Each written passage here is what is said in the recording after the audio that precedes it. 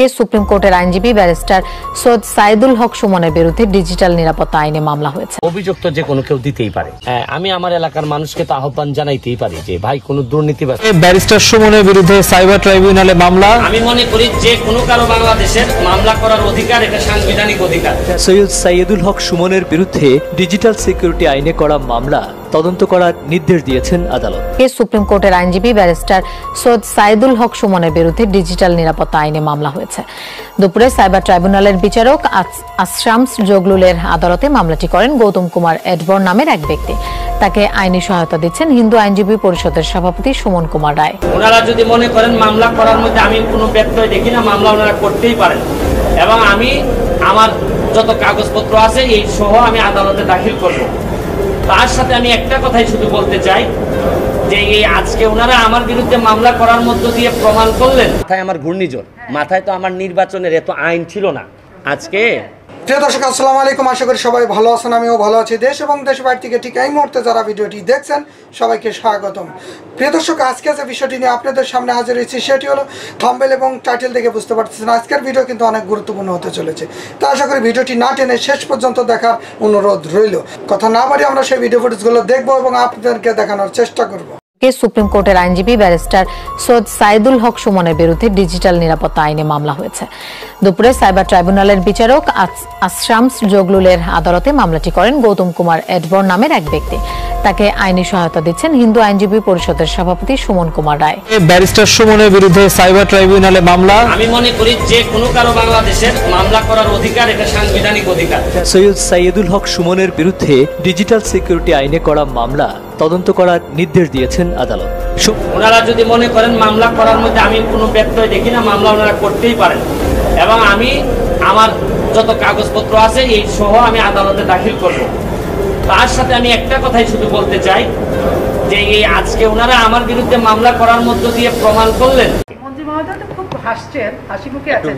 আপনার বিরুদ্ধে যে এই উনি আসলে অতি অতি? সুখে পাথর হয়ে গেছেন যে উনার মতো একজন ভদ্রলোকের বিরুদ্ধে এইরকম কথা বলার কারণে অতি সুখে পাথর পাথরকে আর জিজ্ঞেস করেন না। মাথায় আমার ঘূর্ণিঝড়।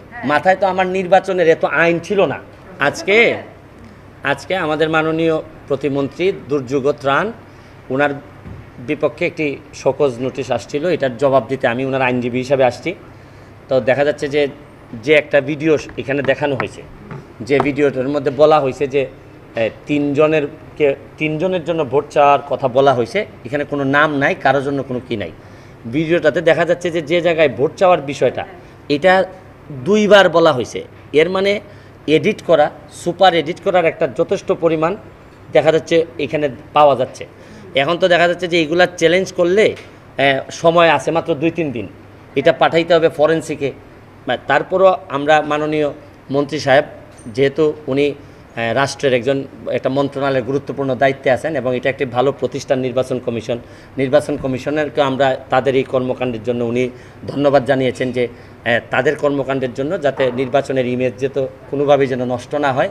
এই জন্য উনি এটাও বলছেন যে কোনো কারণে মানে আমার জানার বাইরে এরকম কোনো কারণেও যদি কোনো আইন আপনাদের ভঙ্গ হয়ে থাকে তো এটার জন্য আমি দুঃখ প্রকাশ করতেছি এবং ভবিষ্যতে আমরা আরও সতর্ক থাকব যাতে কোনোভাবেই মানে মাননীয় মন্ত্রীর বিরুদ্ধে যে নির্বাচনী আচরণবিধি ভাঙার অভিযোগটা সেটাকে কিনে উনি মনে করেছেন যে এটা ঠিক ছিল? তাহলে যদি বেঠিকই থাকে তাহলে উনি ক্ষমা চাইবেন কেন? না না না ক্ষমা চাওয়ার বিষয়টা কিন্তু অপরাধ অপরাধ অপরাধ অ্যাডমিট করে কিন্তু ক্ষমার বিষয় না। হ্যাঁ।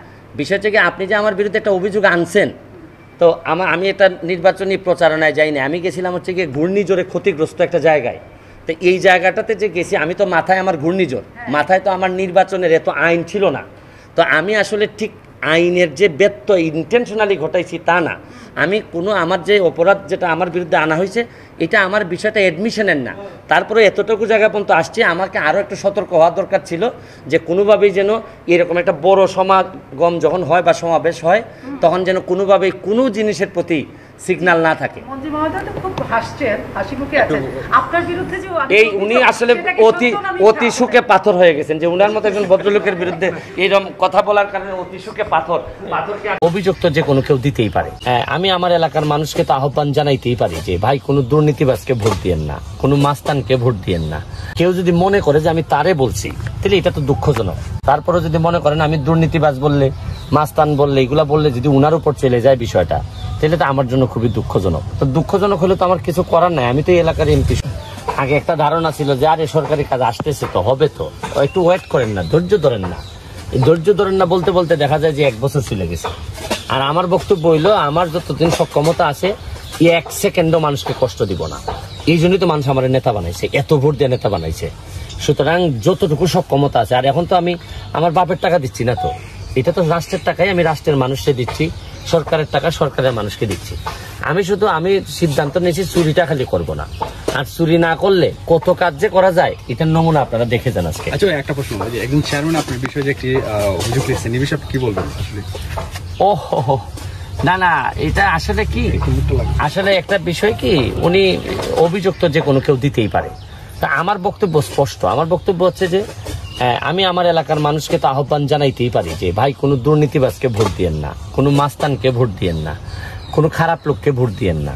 এতে যদি কেউ যদি মনে করে যে আমি তারে বলছি তাহলে এটা তো দুঃখজনক। কারণ উনি তো আমার জানা মতো উনি তো এইরকম না।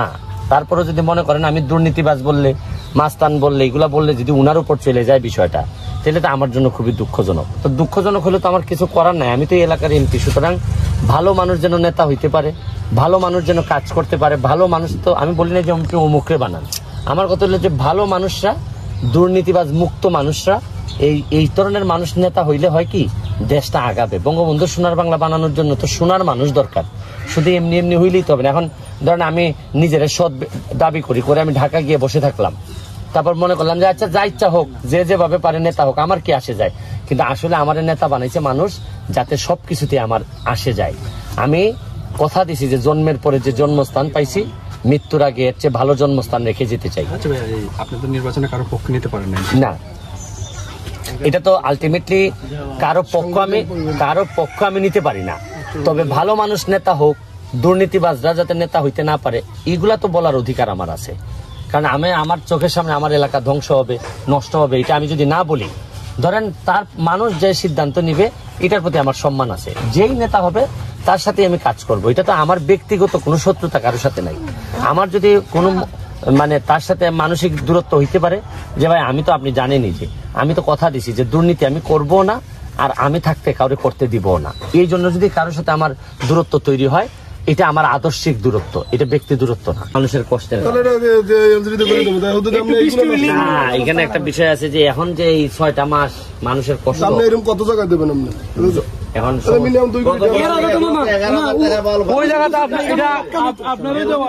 আমি আমি বলি দুই কোটি না যদি আমার জানে কুলায় দুইশো কোটিও লাগে আমি এমপি হওয়ার পর থেকে প্রতি একদিনের হিসাব হবে যে মানুষ কষ্ট করতেছে কিনা। তোমার এই পুরানের হিসাব পুরানের হিসাব বাদ। পুরানের হিসাব বাদ যে আইবনে রে দেখমনে রে করতাছি রে আগামীবার ভোটের পরে রে। বালানি হিসাব এটার মধ্যে কিন্তু আমি এমপি হওয়ার ফেলাইছি ইদিক ফুরাটি আমি ফেলাইছি হ্যাঁ হ্যাঁ লাইট করছি। বাজে অবস্থা আছে।